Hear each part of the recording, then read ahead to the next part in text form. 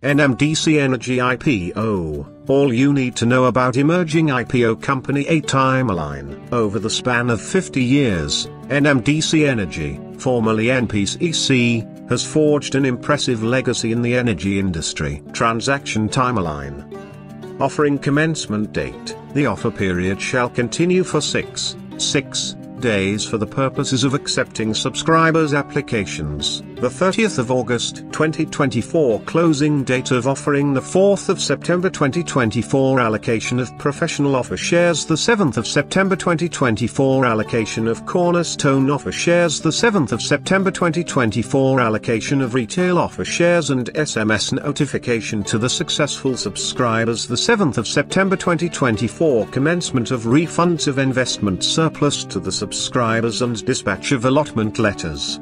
The 9th of September 2024 Constituent General Assembly meeting The 9th of September 2024 Expected date of listing the shares on ADX The 11th of September 2024 If you like this video click on like button and if you have any comments provide in comments box. If you still not subscribed channel, please subscribe. Also click on bell icon so that you will my video notification immediately.